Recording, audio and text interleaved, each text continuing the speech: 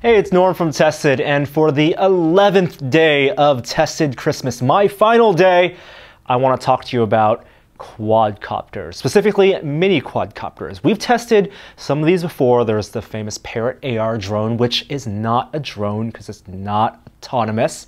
It's actually just a remote controlled quadcopter. That was 300 bucks, but it's that's a it's a one-off. That thing is it's, it's really a toy, glorified iPhone accessory.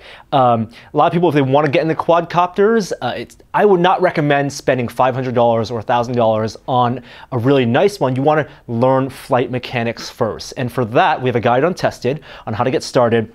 Our recommendation is the 1SQ mini quadcopter from Helimax. This one comes in two varieties. There's a $99 version, $100 version that doesn't come with a transmitter. If you want to provide your own, that's the controller. Or what I have here, a $130 version, which actually comes with this transmitter. Everything you need comes in the box to get started flying. The nice thing about mini quads is they're very maneuverable.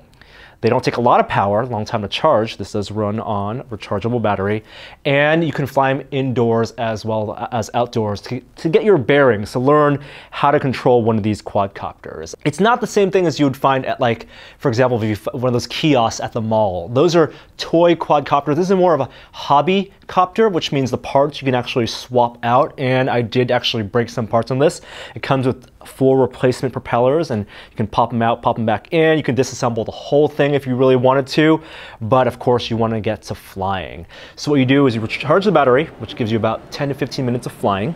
There's a gyro and accelerometer inside, and then you lay it flat, and when you plug it into the, the power, it takes about two seconds, two to three seconds to calibrate, so it knows what's on an even plane. Now on the transmitter, uh, it's very basic. It runs on four AA batteries. You have trim settings, which you will need to adjust the stability. Um, and you have two sticks, so one for power, and it's 0 to 100%. And then for maneuvering, it's on the right stick here. There are two modes for flying, one for easy and one for more sensitive advanced flying. And I actually like switching this down to low sensitivity, about 15% sensitivity to get some really fine control in an indoor environment. Um, took about a week to really get used to flying this around the house and you do need high ceilings. Toughest part I found was getting it balanced, hovering to a point where I could set the trim and then get it maneuvering. A light wind or even you know air conditioning will blow it off and have it hit a wall and break a propeller.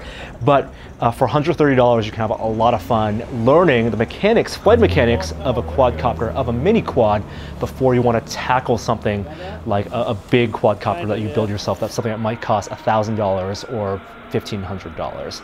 So that's Helimax's 1SQ. You buy it on Amazon. This kit's 130 bucks. We recommend it.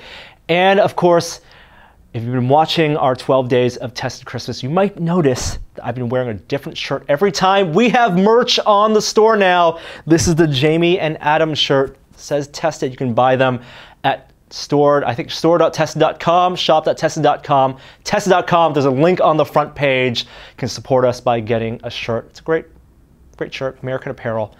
That's it for me for the 12 days of Tested Christmas. Have a great holiday a great new year. Where did this year go? 2013. Wow, wow, wow. I'm Norm. I'll see you guys next year, next time on Tested.com